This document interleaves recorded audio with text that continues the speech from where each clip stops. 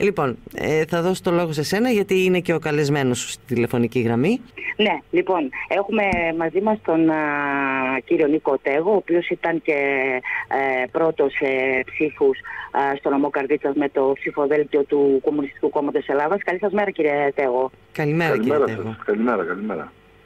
Λοιπόν, ε, το Κομμουνιστικό Κόμμα Ελλάδας κατάφερε να αυξήσει πανελλαδικά τα ποσοστά του. Ε, κατάφερε όμως και σε επίπεδο νομού. Ε, αν δεν κάνω λάθος, είχε τη δεύτερη μεγαλύτερη ποσοστιαία αύξηση.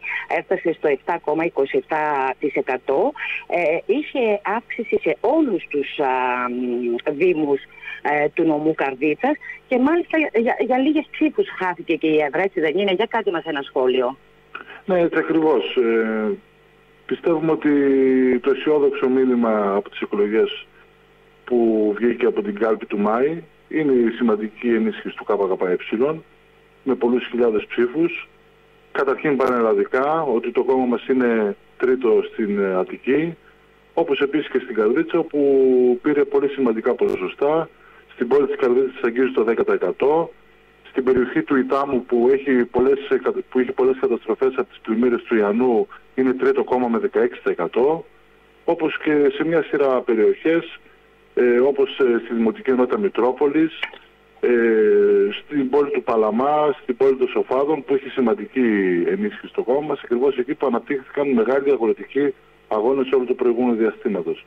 Χωρίς να παραβλέπουμε βέβαια τον αρνητικό σχετισμό ο οποίος παραμένει αλλά θεωρούμε πως ε, η πραγματική ελπίδα, ακτίδα αισιοδοξίας στο σκοτάδι ε, που, ε, που υπάρχει είναι η σημαντική ενίσχυση του, του κόμματός μας ε, στις τελευταίες εκλογές που έγιναν. Ε, αυτό για τον ε, αρνητικό συσχετισμό βεβαίως και δεν τον παραβλέπει το κόμμα, το ανέφερε και ο Γενικός Γραμματέας. Αλλά σε μια εποχή που αντιμετωπίζουν όλοι οι πολίτες πολύ δύσκολες καταστάσεις, τις βιώνουμε, τις περιγράφετε κι εσείς ως ε, κόμμα ε, και ενώ το ΚΚΕ όντως βρίσκεται κοντά στους κοινωνικούς αγώνες καθ' όλη την, όχι μόνο σε προεκλογικές περιόδους, αυτό νομίζω σας το αναγνωρίζουν όλοι, ε, υπάρχει κάποια κριτική γιατί δεν καταφέρετε να πείσετε ένα μεγαλύτερο ποσοστό των ψηφοφόρων; Ναι, κοιτάξτε, ε, εμείς εκτιμούμε το εκλογικό ποσοστό ε, με βάση μια σειρά παράγοντες οι, οποίες, οι οποίοι επέδρασαν. Καταρχήν ε, στη, στη νέα εκλογική μάχη καλούμε αυτούς οι οποίοι δίστασαν και δεν έκαναν το βήμα να το κάνουν τώρα και να ενισχύσουν το ΚΚΕ στη νέα εκλογική αναμέτρηση στις 25 Ιουνίου. Γιατί θα μετρήσει ακριβώς ότι όσο πιο δυνατό είναι το κόμμα μας, τόσο πιο δυνατή θα είναι και μαχητική αντιπολίτευση που θα σκηθεί στην επόμενη κυβέρνηση της Νέας Δημοκρατίας. οι παράγοντες οι οποίοι επέδρασαν έτσι ώστε η Νέα Δημοκρατία να διατηρήσει τα ποσοστά της είναι ακριβώς ε, η στάση που κράτησε όλα τα κόμματα και κυρίως του ΣΥΡΙΖΑ και του ΠΑΣΟ όπου επέδρασαν ακριβώς στη στηρητικοποίηση ενός κόσμου. Όλο το προηγούμενο διάστημα αυτά τα κόμματα της ε, αντιπολίτευσης που συμπολιτεύονταν επί της με τη Νέα Δημοκρατία ψήφισαν τους μισούς νόμους. Ο ΣΥΡΙΖΑ το 50%, η Νέα Δημοκρατία, ε, το ΠΑΣΟΚ το 70%. Άρα λοιπόν ο ρόλος τους ήταν ρόλος συντηρητικοποίησης, ήταν ρόλος όπου προέβαλαν, ε, ε, ε, έλεγαν στον κόσμο ότι δεν υπάρχει άλλη εναλλακτική, με αποτέλεσμα να απογοητεύουν και με αποτέλεσμα να τροφοδοτούν με χιλιάδες ψήφους τη Νέα Δημοκρατία. Ακριβώς αυτόν τον ρόλο έπαιξε ο ΣΥΡΙΖΑ το προηγούμενο διάστημα και το ΠΑΣΟΚ. Άλλωστε τον ίδιο ρόλο έπαιξαν και ως κυβέρνηση τα προηγούμενα χρόνια. Όταν το ΠΑΣΟΚ ψήφιζε το ένα μνημόνιο μετά το άλλο, μαζί με τη Νέα Δημοκρατία συγκυβερνώντας, ή, ή ο ΣΥΡΙΖΑ που ψήφισε το τρίτο μνημόνιο μαζί με Νέα Δημοκρατία Πασόκ, Ποτάμι και ΑΝΕΛ, συγκυβερνώντας με τους ΑΝΕΛ. Ακριβώς λοιπόν αυτή η στάση αυτών των κομμάτων επέδρασε σε έναν κόσμο ο οποίος τελικά επέλεξε το μικρότερο κακό από την αντίθετη μεριά. Με αποτέλεσμα να, παραμείνει, να παραμείνουν ε, τα ποσοστά της Νέας Δημοκρατίας εκεί που βρίσκονται. Άρα λοιπόν υπάρχουν εξηγήσεις και ξαναλέμε ότι μόνοι ε, αισιόδοξη ε, νότα σε αυτές τις εκλογές ήταν η ενίσχυση του ΚΚΕ. Άλλωστε το συναντάμε αυτές τις μέρες.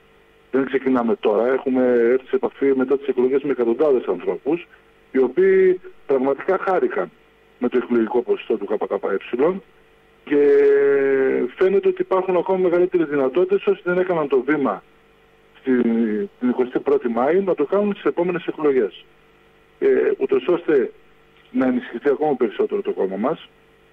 Ακριβώς γιατί είναι το, το κόμμα το οποίο στην επόμενη κυβέρνηση της Νέας Δημοκρατίας που έχει συγκεκριμένο πρόγραμμα που περιλαμβάνει 300 αντιλαϊκά προαπαιτούμενα του Ταμείου Ανάκαμψης που περιλαμβάνει μια σειρά δεσμεύσεις, μια σειρά ε, ματωμένα πλεονάσματα, ε, τους πληστηριασμούς και μια σειρά ζητήματα που αφορούν το πρόγραμμα σταθερότητας ε, θα είναι ε, μαχητική αντιπολίτευση, πραγματικά η μόνη στρατηγική ε, μαχητική αντιπολίτευση απέναντι στην επόμενη κυβέρνηση της Νέας Δημοκρατίας. Άλλωστε, ε, από την ερμή έκθεση της Κομισιόν αποκαλύφθηκε και τα ψέματα της Νέας Δημοκρατίας και εξαγγελίες που κάνουν και το επόμενο πρόγραμμα της επόμενης κυβέρνησης που και σε αυτά συμφωνεί ο ΣΥΡΙΖΑ και το ΠΑΣΟΚ που είναι οι, τα ματωμένα πλεονάσματα, είναι οι πληστηριασμοί, είναι το χτύπημα των εργατικών λαϊκών δικαιωμάτων.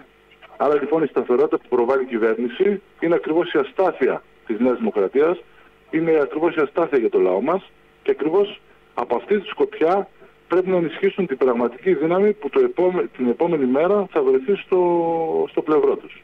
Και εμείς θέλουμε να βάλουμε το ερώτημα, αυτό ακριβώς το ερώτημα και ως κριτήριο, ότι στην επόμενη πιθανή παντοδύναμη κυβέρνηση της Νέας Δημοκρατίας ε, που θέλει να παρουσιαστεί, δεν θα είναι τόσο παντοδύναμη όσο πιο ισχυρό θα είναι το εργατικό λαϊκό κίνημα και συνεπώς το ΚΚΕ. Γιατί ποιος θα βρεθεί δίπλα στις μεγάλες αγροτικές κινητοποιήσεις του επόμενου διαστήματος που τώρα οι αγρότες μας από τις καταστροφές ε, που υπάρχει λόγω των καιρικών φαινομένων ε, φαίνεται το, ότι θα έχουν αβέβαιο, αβέβαια εισοδιά πόσο μάλλον και εισόδημα όταν οι τιμές και το κόστος παραγωγής είναι, έχει εκτιναχθεί στα ύψη. Ναι, το συζητήσαμε και χθες με τον πρόεδρο της Ομοσπονδίας όλο αυτό το μεγάλο πρόβλημα που έχει προκύψει στον αγροτικό κόσμο. Είναι ένα πρόβλημα προφανώς και όλες οι κυβερνήσεις διαχρονικά έχουν βάλει τη σφραγίδα τους σε έναν εργά που χαρατσώνει αλλά δεν αποζημιώνει.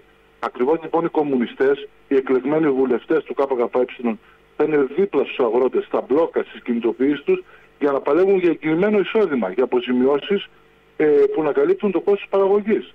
Άρα λοιπόν ποιος θα βρεθεί στους χώρους δουλειάς, ποιος θα βρεθεί ενάντια στους πληστηριασμούς, ποια δύναμη θα είναι αυτή η οποία θα είναι ε, μαχητικά μέσα και έξω από τη Βουλή στο, στο πλευρό του λαού; Προφανώς ε, δεν μπορεί να είναι άλλη δύναμη όταν όλοι οι άλλοι έχουν βάλει πλάτη να εφαρμοστούν όλα αυτά τα μέτρα και ο λαός μας σήμερα πληρώνει συνεχώς απώλειες. Άρα λοιπόν επειδή υπάρχει συγκεκριμένο εκλογικό αποτέλεσμα, υπάρχει συγκεκριμένη, ε, συγκεκριμένα διλήμματα, έφυγε το δίλημα Τσίπρας σε Μητσοτάκης, τώρα υπάρχει ή ισχυρό κουκουέ απέναντι σε μια κυβέρνηση της Νέας Δημοκρατίας που θέλει να πάρει λευκή επιταγή και να εφαρμόσει νέα βάρβαρα μέτρα και μιας αντιπολίτευσης η οποία θα, θα βάζει πλάτη ώστε να υλοποιείται αυτή η πολιτική ή μια αντιπολίτευση μαχητική του ΚΚΕ η οποία θα αποσπά, θα κερδίζουμε στο σήμερα κατακτήσεις και θα ανοίγει ο δρόμος για πραγματικά ριζικές αλλαγές γιατί το ΚΚΕ έχει και πρόγραμμα διακυβέρνησης και εξουσίας